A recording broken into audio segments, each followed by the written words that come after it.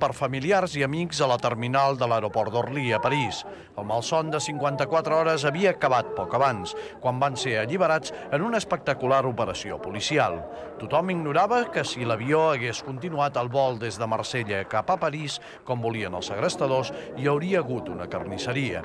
Els membres d'aquesta unitat d'èlit de la policia, convertits en herois i rebuts amb aplaudiments, han informat que els segrestadors tenien la intenció de llançar l'aparell sobre una zona molt poblada de la capital francesa.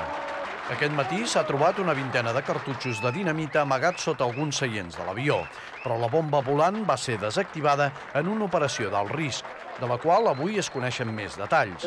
Tot va començar quan un dels pirates aeris va disparar dos trets contra la torre de control. L'assalt comença. Deu gendarmes obren mecànicament la porta de l'Airbus.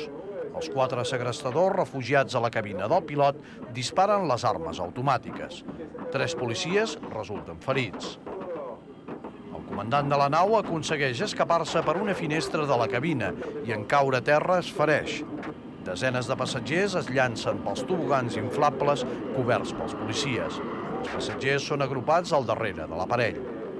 Des de la cabina, els pirates continuen disparant i la policia intenta llançar una granada dissuasiva per una finestra de la cabina.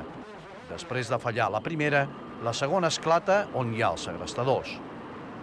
Mentrestant, un segon grup d'assaltants arriba al darrere de l'avió i ajuda els passatgers enmig del pànic. El resultat de l'arriscada operació és satisfactori. Els quatre terroristes moren i 13 passatgers i 9 gendarmes resulten lleument ferits. En només 20 minuts s'havien tancat 54 hores d'atenció i temor per les vides dels 170 passatgers.